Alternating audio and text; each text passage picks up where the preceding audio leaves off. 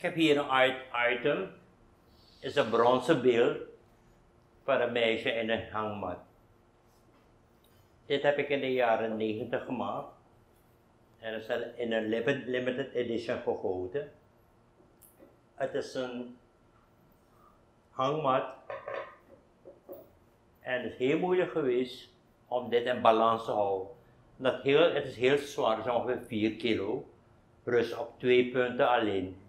Op die punten van, van die voetzool. Dit zie je heel vaak als je buiten de stad gaat. Ook zelfs op erven zie je dit.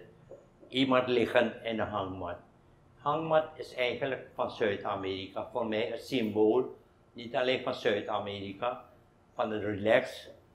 En ook een inspiratiebron geweest voor de schoonheid van Suriname. Voor mij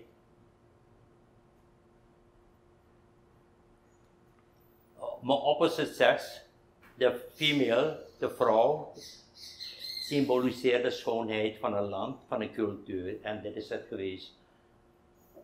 Uh, dat en misschien wel een vraag. U heeft eerst een kleibeeldje hiervan gemaakt, of een Je ziet wassenbeeld. het daar. Ik maak het eerst in klei. Je ziet het daar. Ik-. En dat breng ik naar de bronsschieterij. In, in dit geval was dit in Amerika, in West Palm Beach.